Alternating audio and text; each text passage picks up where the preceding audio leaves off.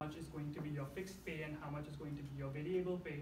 Now with increased interconnectedness, uh, employees in other countries or managers in other countries know that this is how I am being paid, right? I am being paid more fixed and less variable. And other employees might feel that that is considered unfair. And you know that is another reason as to why a lot of scholars argue that we are being more connected now and we are being more visible now.